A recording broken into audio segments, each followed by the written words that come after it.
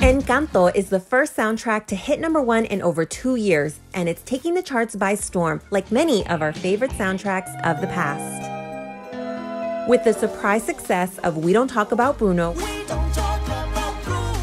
which has now become the highest charting song from a Disney animated film in over 25 years, let's take a look back at the history of hit soundtracks and what factors catapult a soundtrack to success. This is Billboard Explains when a soundtrack smashes the charts.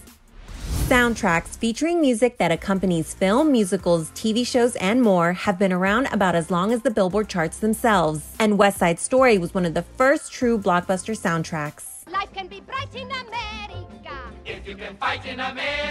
After its release in 1962, the soundtrack spent a record 54 weeks at number one on the Billboard 200. West Side Story was a soundtrack in the traditional sense, a compilation of various artists and songs pulled directly from a film. Hello, darkness, my old friend. In the late 60s and into the 70s, films like The Graduate and Saturday Night Fever introduced a different concept of what a soundtrack could be a collection of songs driven by a specific artist.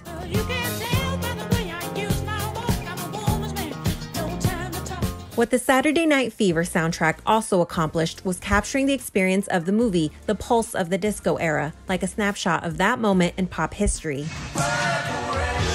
In the 80s, Prince's Purple Rain, one of the greatest rock and roll albums of all time, was a prime example of when a soundtrack success and legacy surpasses that of its accompanying film. Then came the 90s.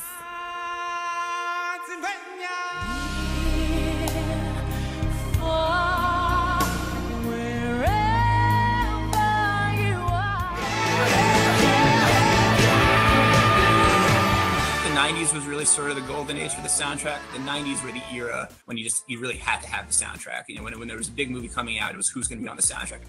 One soundtrack in particular, The Bodyguard, established not only the power of an artist focused soundtrack, but what happens when you have a monster single.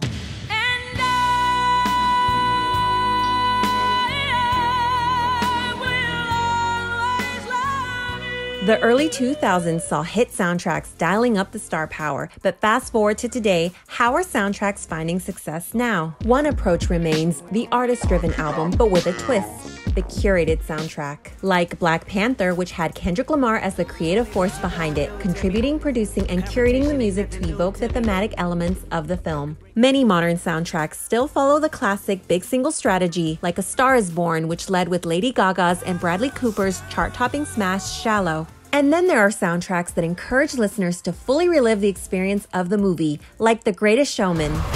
Greatest Show. Which proved traditional soundtracks can still come out on top, especially ones that audiences enjoy experiencing on repeat. Enter Disney's Encanto. For Encanto, Lin Manuel Miranda was able to create storytelling through music that really shines in the movie. The songs are just full of life and they've found an audience that just wants to play the songs over and over. Like We Don't Talk About Bruno, which isn't your typical Disney hit song, and yet it really soared on streaming. Single creative force behind the music, a big hit single, recreating the magical movie experience. Encanto checks all the boxes for a soundtrack smash. But no matter what's behind the music, as long as there are movies that capture our hearts, there will always be soundtracks that capture the charts.